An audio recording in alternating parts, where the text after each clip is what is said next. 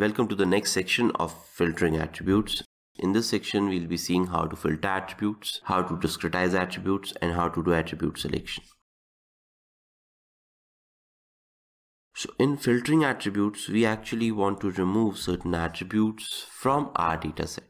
For doing this, we'll be using a remove class from an unsupervised filter package and we'll be using an attribute called dash r. In the coming videos, we'll be using discretization and binning. So let's quickly come down to the code and see what happens. What I'm doing is first I'm importing certain packages. So this is the first package that we'll be importing. From the core package, weka.core package, we'll be using an instance class. From weka.core.converters, we'll be using ArffSaver class. From java.io, we'll be using a file class. And from weka.core.converters.converter we'll be using a data source class. This we have been using in the previous section also. This will be taking the database into memory and working with database with the dataset in the memory. ArffSaver will help us in saving our dataset into the disk. File will give the name of to the disk. Data source will first open the dataset from the disk Filter is a new class that we'll be using in this video where we have a filter weka.filters package. In the filter class, we'll be applying filter and the filters that we'll be applying would be an unsupervised filter from unsupervised dot attribute we'll be filtering certain attributes so first we'll take the ARFF file into our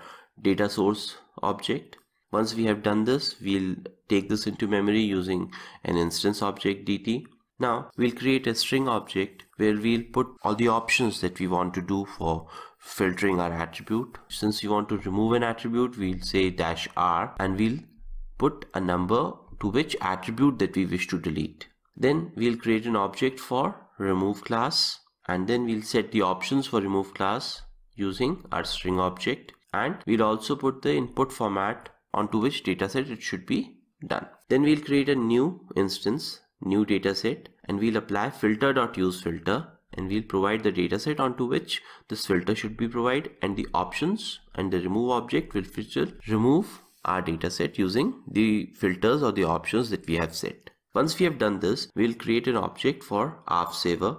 Then we'll assign the new dataset, the ND to this ArffSaver object and then we'll provide a name to this ArffSaver object and then finally we'll write it onto the disk using write batch. Let's try and run this and see what happens.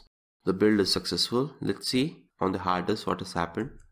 I have removed the temperature attribute from my new dataset fw.rf file. Suppose if I want to remove multiple attributes from my file, then I'll use a dash operator so it will remove the attributes from 2 to 3. If I'll use 2 to 4, then it will remove the attributes from 2 to 4 from my dataset. Let's try and run this.